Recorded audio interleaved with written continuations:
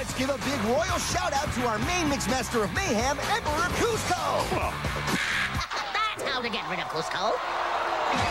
Sorry to disappoint you, Yzma. Don't miss an all-new episode of The Emperor's New School next Saturday on ABC Kids.